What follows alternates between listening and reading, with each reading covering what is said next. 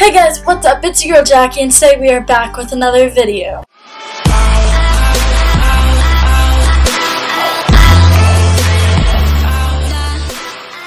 So today we are going to be doing an Instagram followers pick my makeup thing because I wanted to hop on the bandwagon because everyone's doing it. So yeah, that is what we're doing today. So I went and did a bunch of polls on my Insta and you guys picked what you wanted to see me put on my face today.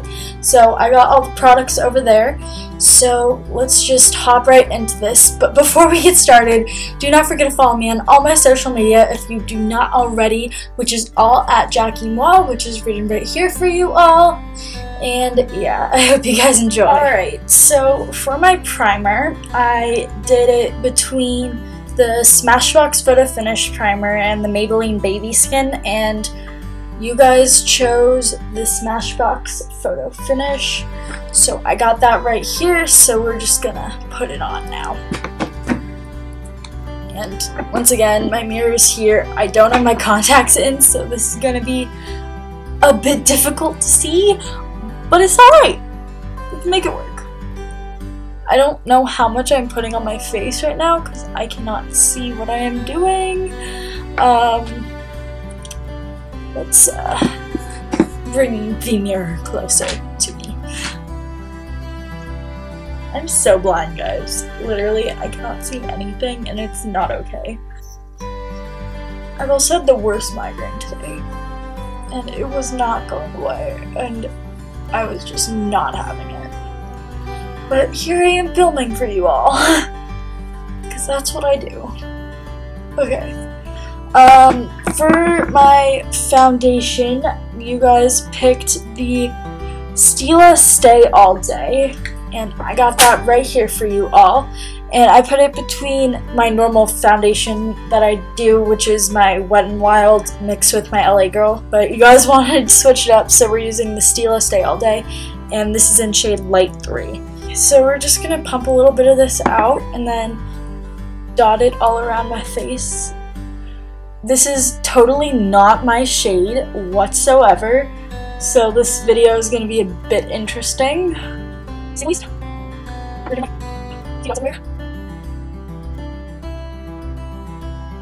gonna have to lighten this up with a lot of concealer. So I apologize if this is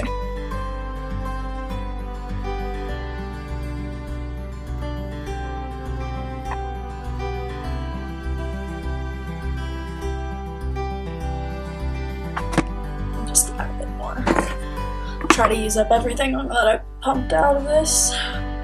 Try to even my face up a bit because this is not my shade. also don't know how well this formulation is going to mix with the LA Girl one. So this is going to be quite interesting when I put on the concealer. But since we are using a darker foundation shade, I'm just going to tap some of this onto my neck to match my neck to my face. a lot, just a bit.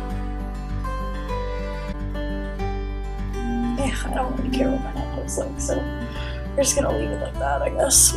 Okay. Just stroke it down You're not supposed to do this with the beauty blender, don't do that. Okay, so for my concealer, I put it between the LA Girl Pro Concealer and the Balm Time Bomb.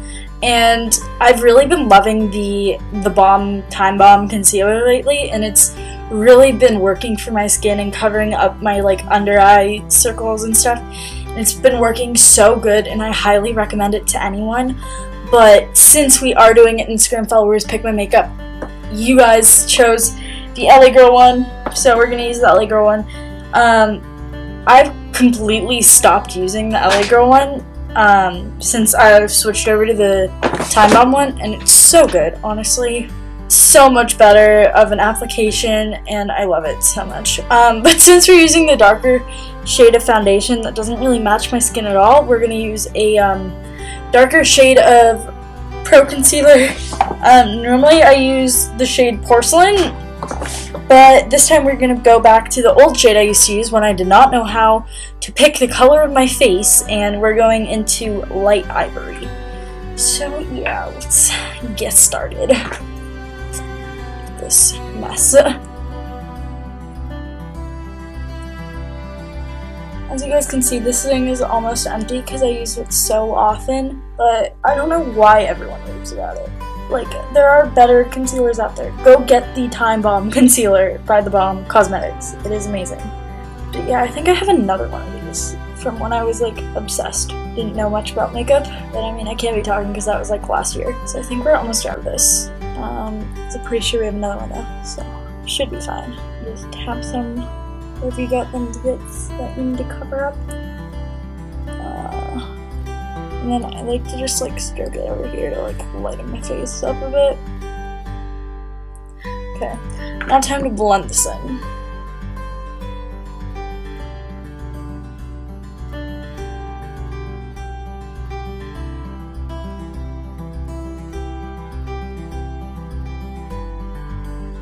Okay, so now time to see what we picked for our setting powder. Uh, so setting powder, it was between Dermablend and Cover FX, and Cover FX won that, so we got my Cover FX over here. I used to be obsessed with the Cover FX setting powder, and then Dermablend sent me four powders, like I'm so blessed that this is my job. I'm absolutely obsessed with the Dermablend powders now. Like, oh my god, yes. Yes, sister, yes. um, if you're gonna invest in a setting powder, I highly recommend Dermablend, but if you don't want to get Dermablend, the Cover FX is also a really good alternative to the Laura Mercier translucent setting powder. I still to this day have not gotten the Laura Mercier translucent setting powder. Like, um, I just don't see the need for high-end products when here's the real tea, sis.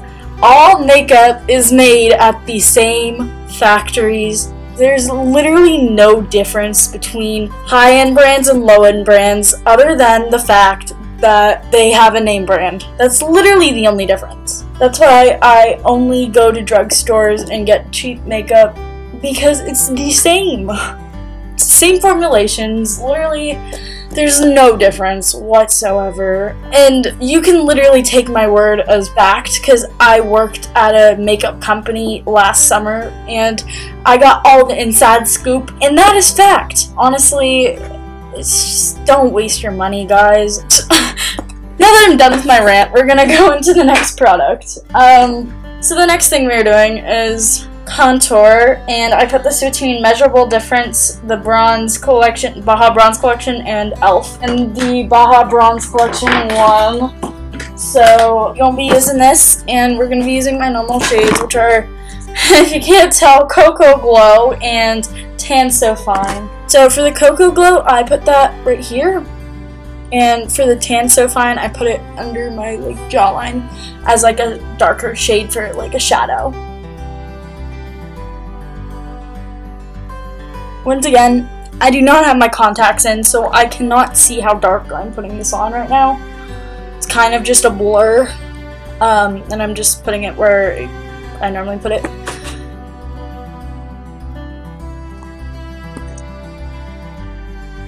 After this, I do my bronzer and I put it between the Sweethearts bronzer and I put it against the Chocolate Soleil and the Chocolate Soleil 1. I don't normally use this. I got it as a sample in an Ipsy Glam bag, I believe, but I've used it like once maybe. It smells exactly like chocolate though, so I really like it, but I've just been loving the Sweethearts bronzer. It's so good. I love it so much. But we're just gonna apply this to the face where you normally apply it.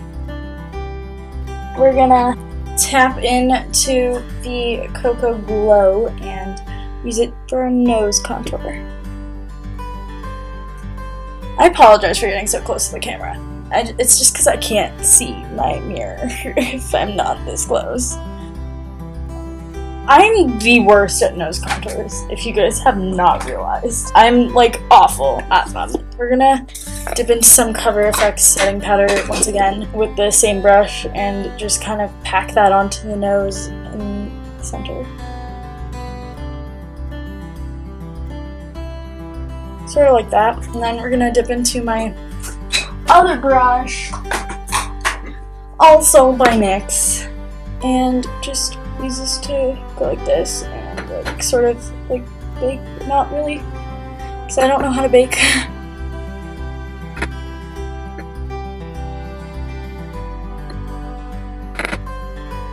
I apologize for all the dust flying through the air. um, so for my brows, I put it between the Billion Dollar Brows pomade and the Kevyn Aucoin eyebrow kit thingy mabobber powder thing. I don't know what I'm saying. But yeah, I put it between that, those two. So while I wait for my face to not really bake but sort of bake, we're just gonna do my brows. If you guys want I like an actual eyebrow routine, like how I like tweeze them and stuff, let me know in the comment section down below.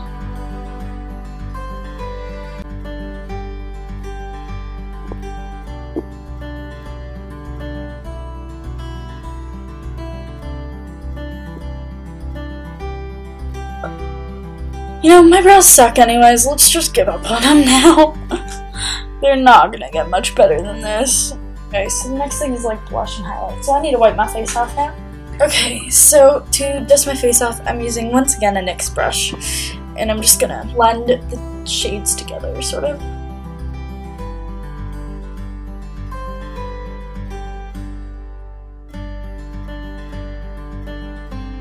So next we're gonna take some blush. For our blush, I put it between the Too Faced Love Flush and Bang Beauty and the Love Flush one.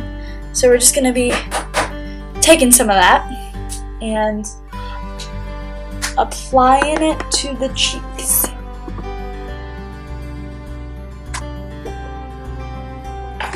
For our highlight today, I put it between my all-time favorite, the Physicians Formula Butter Highlight. I've been loving that so much. I've been using it every single day or the Anastasia Sugar Glow Kit and the Anastasia Glow Kit one gets more well-known brand. But as you can see, um, this shade and this shade are a bit uh, crumbled. So, oops. We're going to be dipping into this top white sort of shade up here and just applying that where you apply the highlight.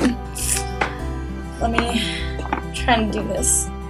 Like, don't get me wrong, I love Anastasia, but I don't know, it's just not easy to carry with you everywhere and it breaks easily and stuff. I'd rather just have something small and compact that like works as well. And the butter highlight is highly pigmented. I love it so much. Please sponsor me, Physicians Formula. I promote your brand way too much. it's not like you're ever gonna watch this though. Okay. Uh, let's uh, buff this into my face a bit so it looks a bit more not really natural because it's makeup, it ain't natural. So the next thing we're doing is eyeshadow primer and I put this between the Milani or the Urban Decay. Once again, Urban Decay one because it's the more well-known brand. So let's apply this to the lids, then blend it together with a finger. For our eyeshadow, I put it between the Sigma Warm Neutrals palette or the Anastasia Beverly Hills Modern Renaissance, and y'all pick this. So we're just gonna create a look using these shades. Today we're gonna be doing a look using six brushes. So to start, we're gonna be tapping into this tempera shade right here in the corner. totally being a beauty girl right now. Mm -hmm. Okay, just gonna put that all over the lid. Also, if you're ever doing makeup that is not like a daily routine where you know what you're doing like for each step, do both eyes at the same time. Like, do one eye and then the other, or else you will forget. It's gonna be a disaster. Just, just don't do it, okay? So next we're gonna take this Luxie 227 blending brush and dip into this Buon, Buon Fresco right here in the center. And we're just going to pack that into the crease.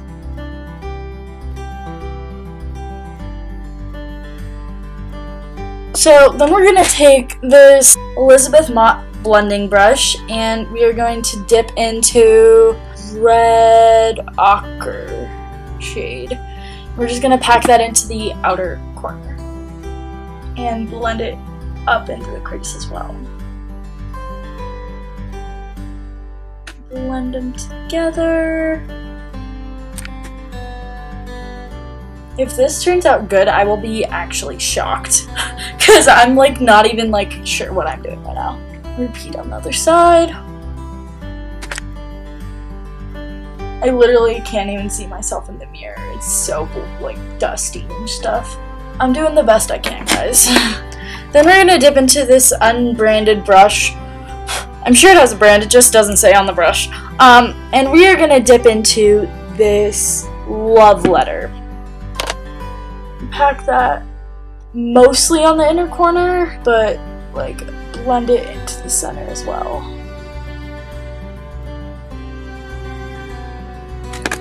Again, tap into the Buon Fresco and blend the two shades together at the crease. My looks always start off looking disastrous and then they turn into something really cool, so I don't know what I'm doing.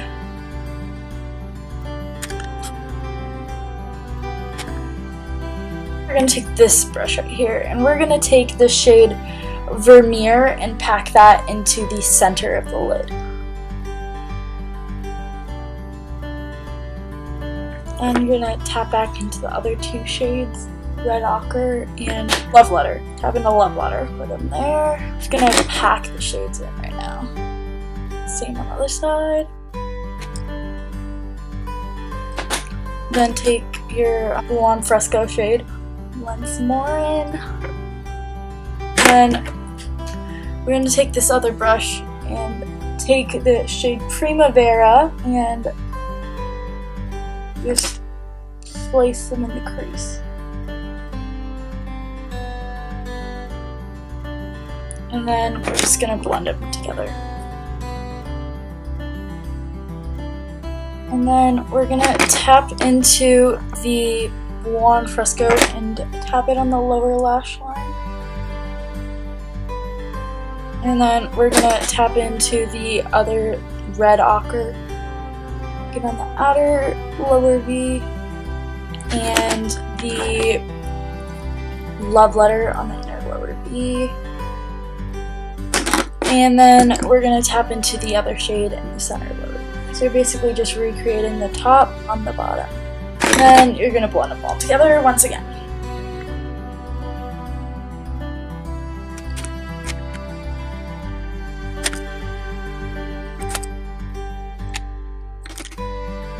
And then we're going to take the same little brush and dip into Vermeer again and pack it as a brow highlight and an inner corner highlight. Blend it with your finger a bit. Alright, so after our eyeshadow, the next thing we did was for our eyeliner, and I put it between my Revlon Skinny and my Milani Normal, and you guys pick the Milani. And for my bottom lash line, um, I asked you guys if you wanted a white or black waterline eyeliner, and you guys said that you would want the black. So we're gonna do the black too. When I'm doing this, um, so I do my liner a bit different than all other beauty gurus. And I start on the outside and make my line, and then I bring it in. I've only recently started to do that too, though.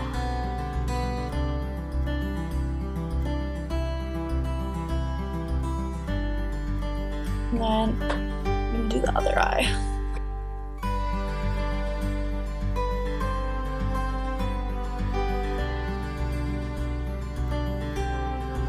Whenever I do good on one eye, I mess up on the other.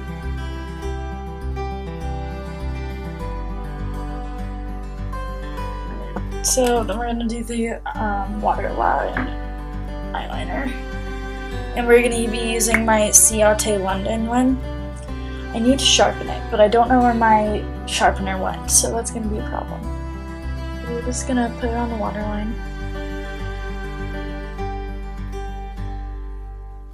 for our, our mascara, I did it between my L'Oreal Lash Paradise mascara and my Essence Lash Princess mascara and L'Oreal one. So we're just going to apply that to the lashes.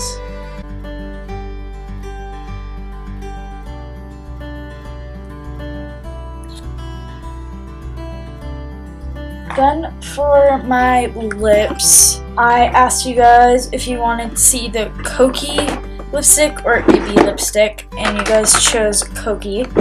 So this is in shade Desire.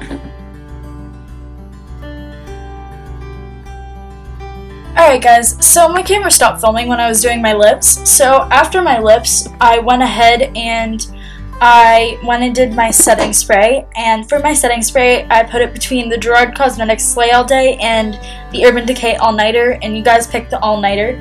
So I went ahead and just sort of put it all over my face, and then after that, I went and took the excess like highlight that was remaining on the brush, and I kind of just put it in the places that I highlight. And yeah, that was the rest of my video, and this is the completed look.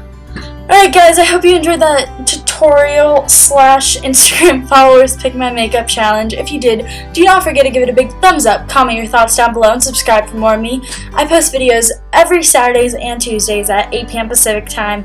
Be there, you don't want to miss it. So, I hope you guys enjoyed, and if you guys do want to keep up with me on my makeup journey, do not forget to follow me on all my other social media, which is all at JackieeMuah, which is written right here for you all, and I hope to see you guys all next time. Love you. Bye!